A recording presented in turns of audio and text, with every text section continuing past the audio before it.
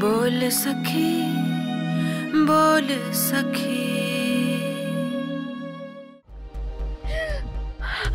यो का बंदोबस्त तो पहले कर रखा था मैंने।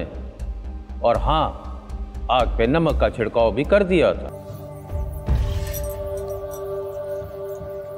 यो क्या कर रहा है फकीरे? ते आज को ना बोले भानो?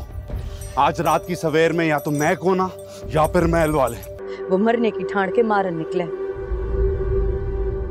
मारे बिना कोना मरेगा। दस दिन की मोहलत दे के जा रहा हूँ तने। बस। जो अपने भाई ने मारे सामने लेकिन ना आई तब घसीट के जाऊँगा तन्ने पंचायत में। जहाँ फैसला होगा तारे झूठा होने का।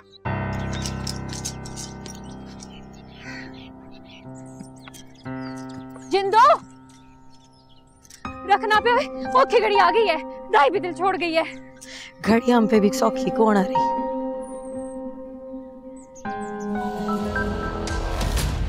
क्योंकि मैं ग्रीन हूँ।